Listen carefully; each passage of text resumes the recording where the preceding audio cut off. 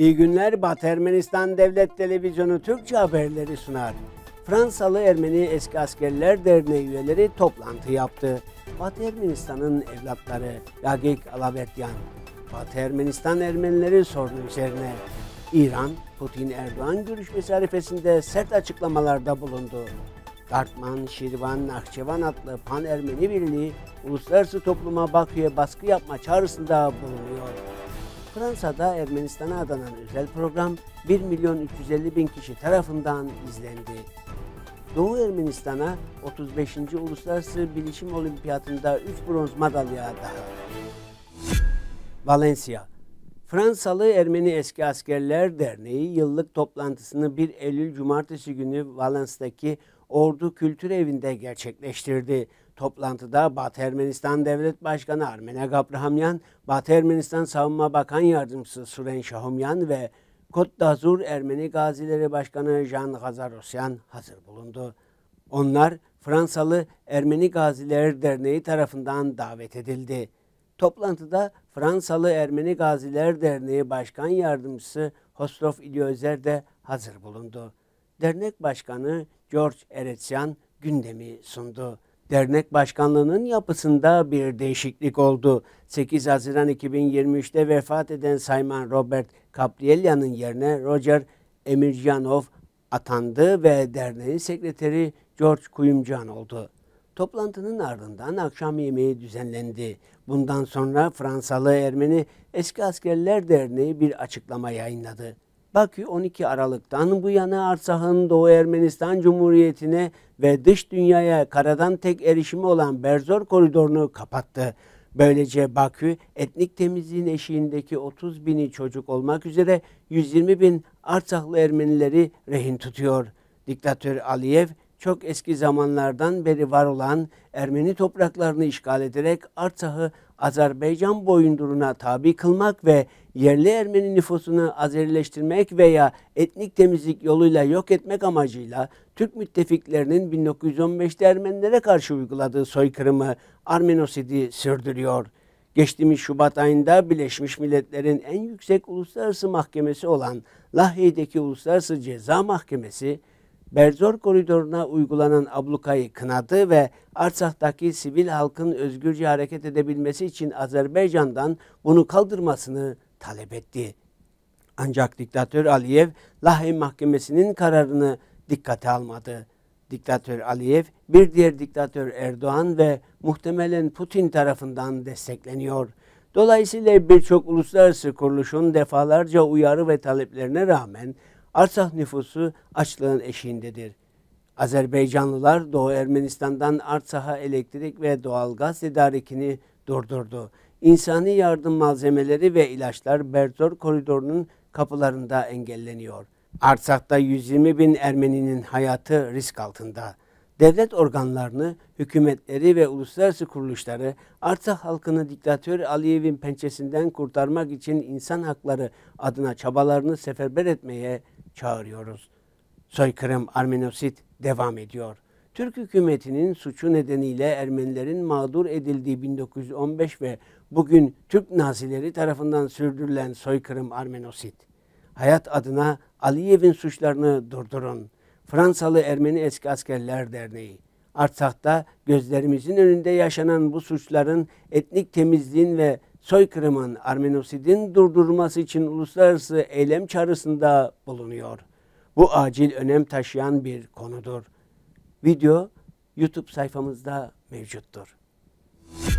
Gagik Alavertyan 1997'den beri Artsak Savunma Ordusu'nda görev yapıyordu. Savunma ordusu silahlı kuvvetlerine bağlı özel kuvvetlerin kuruluşundan bu yana bu askeri birimde görev yaptı. O bir izci, bir keskin nişancıydı. Yüzbaşı rütbesini aldı. Ağustos 2014'teki çatışmalarda özel kuvvetler kapsamındaki eylemlerinden dolayı Doğu Ermenistan Cumhuriyeti ve Arsak Cumhuriyeti devlet başkanları tarafından kendisine cesaret madalyaları verildi. Nisan 2016'daki savaşa katılmış, Taliş'te yaralanmıştı. 2020 yılının 44 gün süren savaşında özel kuvvetler bünyesinde cephenin en sıcak noktalarında savaştı. Yeğnikler, Tutakner, Garindak, Sığnak, Şuşi. 7 Kasım'da Şuşi yakınlarında şehit düştü. Ekim 2020'de Gagik bir grup özel birliğin üyeleriyle birlikte Hadrut'taki Tutakner Tepesi'nde görevlendirildi. Burada yoğun çatışmalar yaşandı. Düşman tepeyi aşmıştı ve 21 Ekim'de arkada bulunan Toh köyüne girmeyi başardı. Stepanakert giden yol onların kontrolüne geçti. Tutakner'de bulunan askerler ablukadan kaçmak için ormanlardan geçerek Garmin Şuga'ya ulaştı. Ablukadan çıktıktan sonra özel kuvvetler Sığnak ve Karindak köylerinde muharebe görevleri gerçekleştirdi. 6 Kasım'da Gagik Şoş köyündeydi ve Şuşi'de bir operasyon yürütmek üzere görevlendirildi. Şuşi'de özel kuvvetlerin ne yapması gerektiğini öğrenmek mümkün olmadı. 6 Kasım gecesi özel kuvvetler 3 araçla Şuşi Karindak kavşağına çıktı. Benzin istasyonundan kavşağa 200 metre uzaklıktaki yolda araçlara ateş açıldı. Gagik Alavertyan, Mıhitar Asıryan ve Bazgen Abrahamyan şehit edildi. Gagik Alavertyan'ın cansız bedeni savaştan sonra 13 Kasım'da nakledildi. Ölümünden sonra kendisine ikinci dereceden savaş haçı verildi. Gagik'in eşi savaş sırasında nadiren telefonda konuştuklarını, nerede olduklarını, ne yaptıklarına dair hiçbir şey söylemediğini, sadece kendisinin her zaman çocukların yanında durun dediğini hatırlıyor. Kürdistan kelimesi ilk kez 12. yüzyılda Selçuklu döneminde ortaya çıkmış ve devreye girmiştir. Son dönem tarihi literatüründe İran Kürdistanı, Irak Kürdistanı ve Türkiye Kürdistanı terimlerine sıklıkla rastlanmaktadır. Sonuncusuna göre keyfi olarak çoğunlukla Batı Ermenistan topraklarının tamamı dahil edilmektedir. Bu durum Türk yönetim bölgelerinin benimsedikleri Ermeni karşıtı politikanın çıkarları doğrultusunda yönlendirildiği 19. yüzyılın ortalarından itibaren ortaya çıkmıştır. Onlar o zamana kadar Batı Ermenistan'a Ermenistan veya Ermenistan'ı kebir Büyük Ermenistan derken o bölgeye Kürdistan demeye başladı.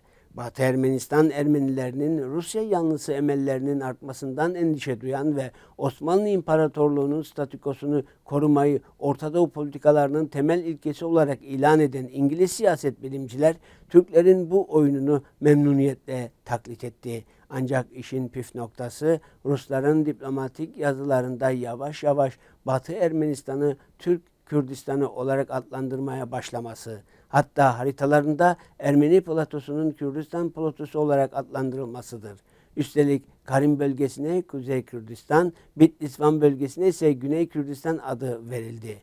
Bütün bunlarla bağlantılı olarak ünlü Ermeni tarihçi Nigahayos Atons şu tespitte bulunmuştur. Birçok kişi Kürt meselesini Ermeni platosuna taşımaktan hoşlanıyor ve çözümünü burada arıyor. Bugün bile tarihi çarpıtma takıntısına sahip bazı Kürt milliyetçileri zihinsel egzersizlerinin bir sonucu olarak farklı ülkelerde yayınlanan kitaplarda, haritalarda ve başka yerlerde direktmen Batı Ermenistan'a Türk Kürdistan'ı diyorlar. Üstelik Kürtlük'ün kökenlerini hakkında genel olarak güvenilir veri bulunmayan çok eski bir geçmişe götürüyorlar. Hiçbir argüman ve bilimsel gerekçe olmaksızın kendilerini tarihçi diye hitap edenler çoğu zaman cehaletlerini gülünç boyutlara taşıyarak Batı Ermenistan'daki Kürtlerin yerli ya da otokton halk olduğunu, bu bölgedeki tarihi yaşamlarının çok eski zamanlardan beri başladığını kanıtlamaya çalışıyorlar. Nigahoyes Atons şöyle yazıyor. Bazıları Kürtlerin Ermenistan'ın yerlisi olduğunu ve sözde Ermenistan'ın eski çağlardan beri Kürtlerin yerleşim yeri olduğunu iddia edecek kadar ileri gittiler. Bütün bunlar elbette sadece Kürtlerin Ermeni dağlık bölgelerine Ermenilerle eşit şartlarda yerleşme hakkını meşrulaştırmak için yapıyorlar. Aslında Orta Çağ'ın sonlarına kadar Ermeni platosunda Kürtler yoktu. Gerek yabancı gerekse Ermeni kaynaklarında söz konusu bölgede Kürt etnik unsurunun varlığına ilişkin bilgi bulunmuyor. Ermenistan'ın ve genel olarak Orta Asya'nın Orta Çağ tarihinin parlak bir uzmanı olan Atons, bilimsel çalışmaları sırasında Ermeni platosunda hiçbir Kürt izine rastlanmadan şu sonuca vardı. Genellikle bilgisiz kişilerin, bölgeye rastgele gelen ziyaretçilerin ve çoğunlukla çeşitli güçlerin siyasi ajanlarının iddia ettiği gibi Kürtler çok eski zamanlardan beri Ermenistan'da yaşıyor. Başka bir seferinde şöyle yazıyor. Kürtler çok eski zamanlardan beri Ermenistan'da yaşamıyor. Türk egemen güçleri tarafından buraya taşındı. Step 1 Ayem'in yazdığına göre Türkiye Dışişleri Bakanı Hakan Fidan, Rusya Federasyonu Dışişleri Bakanı Lavrov'la görüştüğü Moskova'dan Tahran'a doğru yola çıktı. Bu arada Soçi'de yapılacak Putin-Erdoğan görüşmesinin arifesinde İran İslam Cumhuriyeti ile müzakere yapmaya çalışacak. Büyük ihtimalle Zangezur koridoru yani Doğu Ermenistan İran sınırının ortadan kaldırılması Putin ve Erdoğan'ın pazarlığının konusu olacak ve Fidan görüşme öncesinde İran'la müzakerelere gitmek üzere yola çıktı. İran İslam Cumhuriyeti Dışişleri Bakanı Hüseyin Amir Abdullahyan'ın Fidan'la düzenlediği basın toplantısında yaptığı açıklamalara bakılırsa İran Türkiye'yi reddetti. İran İslam Cumhuriyeti Dışişleri Bakanı Yerevan ile Bakü arasındaki müzakereleri memnuniyetle karşılıyoruz. Ancak bölgedeki jeopolitik değişiklikleri ve tarihi geçiş yollarının kapatılmasını kabul etmeyeceğiz diye vurguladı. İranlı diplomat Siyonist rejimin bölgedeki varlığının bölge ülkeleri arasında isyan ve bölünmeden başka bir şeye yol açmadığını kaydettik dedi. İranlı bakan, İslam dünyasının iki parçası arasında işbirliğinin gerekliliğinden bahsederek şu anda böyle bir işbirliğinin olmadığını ima etti. Abdullahyan, İran'ın Sünnilerin lideri olarak Türkiye'yi değil Suudi Arabistan'ı algıladığını ima ederek Fidan'la Ukrayna ve Afganistan'daki durumu, İran İslam Cumhuriyeti ile Suudi Arabistan arasındaki ilişkilerin çözülmesinden sonra Türkiye'nin katılımıyla oluşturulacak üçlü ekonomik formatı konuştum dedi. Gartman, Şirvan, Nakçıvan adlı Pan-Ermeniler Birliği, uluslararası toplumun dikkatini Azerbaycan tarafından Avrupa İnsan Hakları Sözleşmesi hükümlerinin çok sayıda ihlal edildiği gerçeğine çekiyor.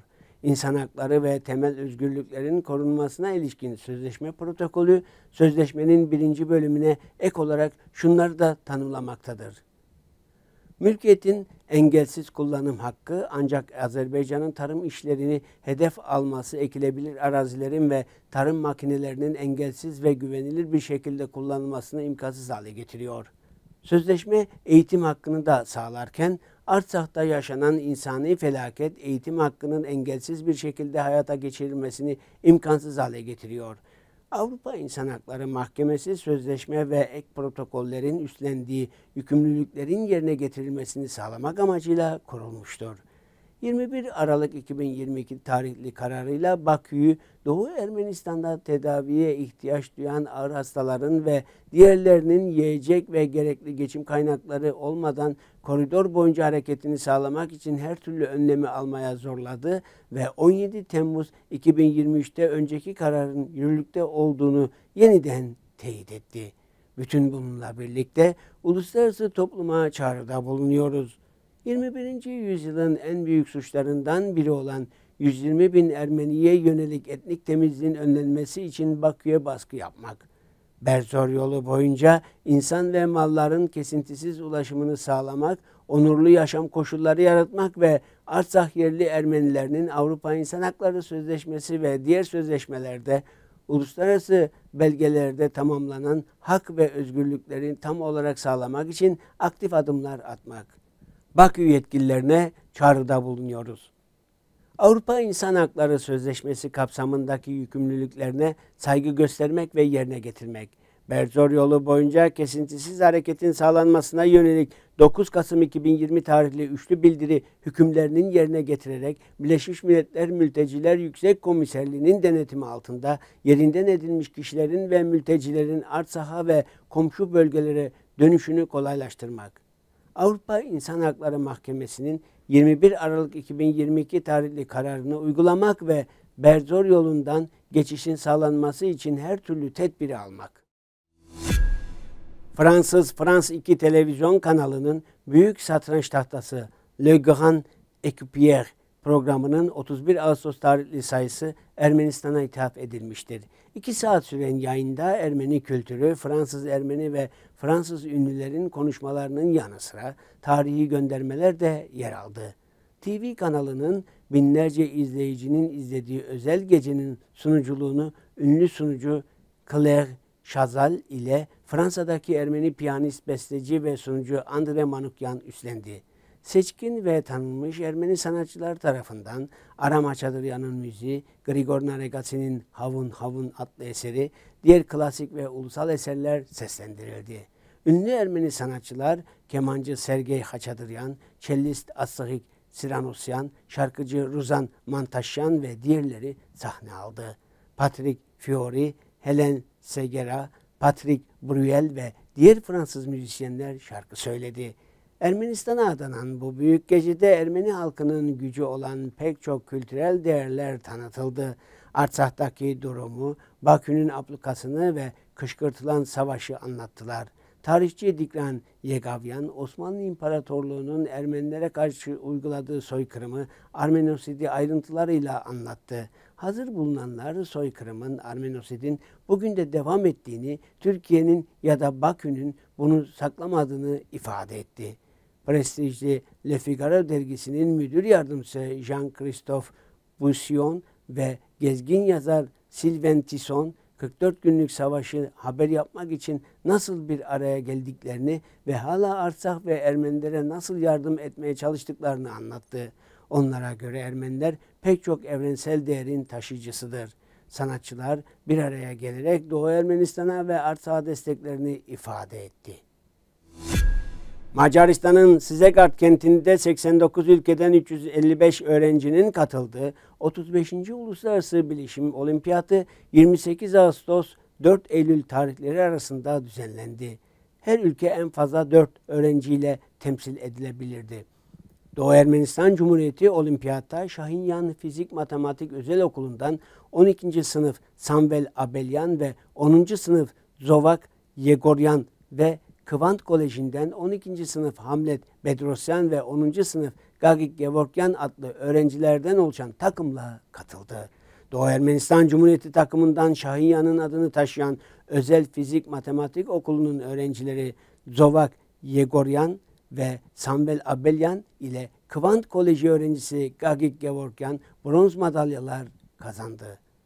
Doğu Ermenistan Cumhuriyeti takımına Yerevan Devlet Üniversitesi'nden Armen Andreasyan ve Sambel Andreasyan başkanlık etti. Olimpiyat her biri üç temadan oluşan iki aşamada gerçekleştirildi.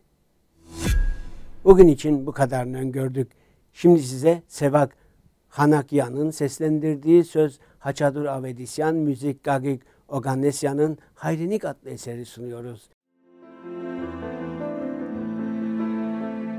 Fajton na stac, kan Իմ անկության հին թաղերով Սիրտս լծված քո կարոտից Լծված սիրո տաղերով Սիրտս լծված քո կարոտից Լծված ոսկե տաղերով Սուպրեմ փարած առաջվապես մորացված ժամ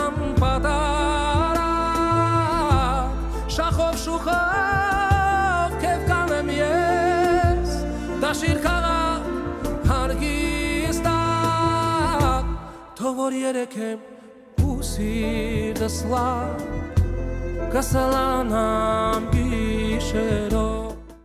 Eserin tamamını Batı Ermenistan Devlet Televizyonu'nun resmi sitesinden izleyebilirsiniz. Hoşça kalın.